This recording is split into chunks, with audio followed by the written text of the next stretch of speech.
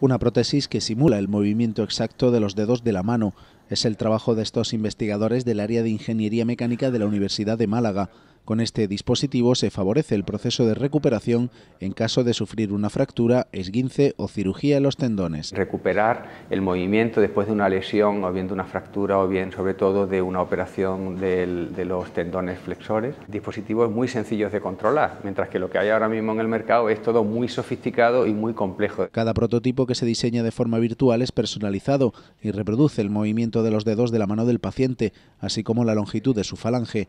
Con este diseño y a través de una impresora 3D se fabrica el dispositivo con las características deseadas. Reproducimos eh, exactamente el movimiento del, dedo para, para su, cada, cada, paciente tiene unas dimensiones diferentes, va a tener un movimiento diferente. Cuando se inmoviliza un dedo por alguna de estas lesiones pueden surgir problemas como edemas o hinchazones en la propia cicatriz, ya que el dedo no se mueve en todo ese tiempo.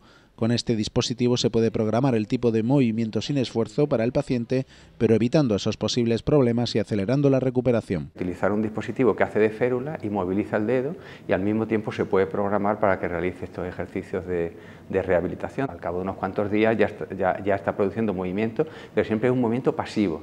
El, el paciente no debe intentar hacer ninguna fuerza. El dispositivo dispone de un sistema de control que puede manipular el propio usuario o bien ser programado siguiendo indicaciones médicas. El siguiente paso ahora es realizar un ensayo clínico con pacientes y comprobar la comodidad y mejoría real.